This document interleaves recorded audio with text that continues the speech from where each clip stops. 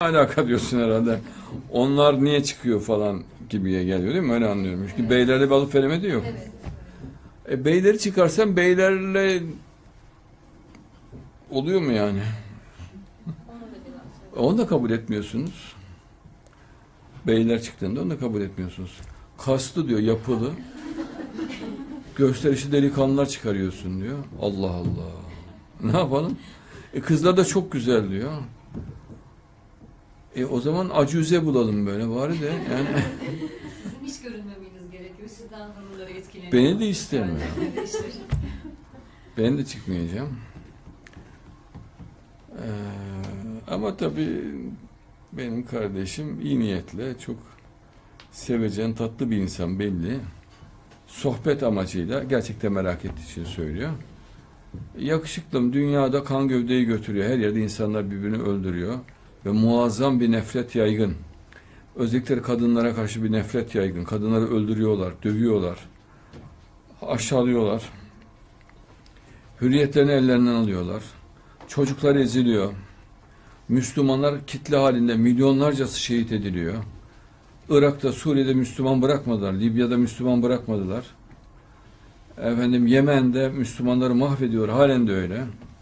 Afganistan çöle döndü. Yerle bir ettiler Afganistan'ı da. Bu kepazeliğe, bu dehşete, bu vahşete, bu kana durdurmak için, dur demek için elimizden geldiği kadar gayret ediyoruz. Ama bunu anlatırken tabii fiilen örnek olmak lazım. Kadın haklarını korurken, kadın özgürlüğünü korurken kadınların özgür olduğunu göstermek lazım. Kadınların neşesini, eğlenebileceğini, dans edebileceğini, dekolte giyinebileceğini, makyaj yapabileceğini, efendim, hürriyet içinde yaşayabileceğini, saygıdeğer olduğunu, değerli olduğunu fiilen göstermek lazım. Sözlü olmaz. Sözlü olursa inandırıcı olmaz. Çünkü o zaman derler niye yaşamıyorsun? Biz yaşadığımızı göstererek anlatınca tam kanaat gelir. Ama bakın gerekli kadının çıkmasını istemiyorlar.